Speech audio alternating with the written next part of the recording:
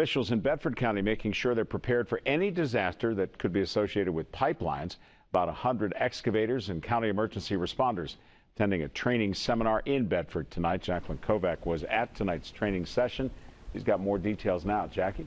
Marty, it was just three years ago that a Bedford County compressor station caught fire, leading to an entire neighborhood being evacuated.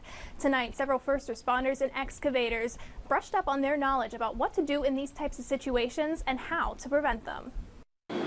We dial 811 so we don't have to dial 911.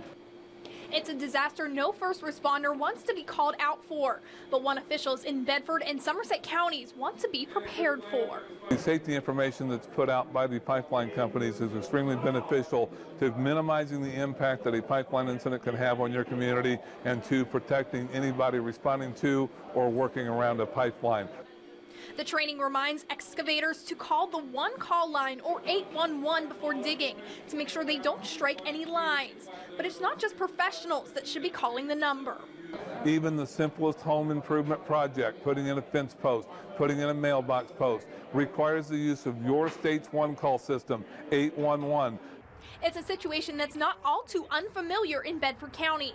A compressor station caught fire in November 2011, leading to about 40 to 50 homes being evacuated. Officials want everyone to remember to dial 811 before digging because it may prevent you from dialing 911 in the end. Jackalyn Kovac, 6 News.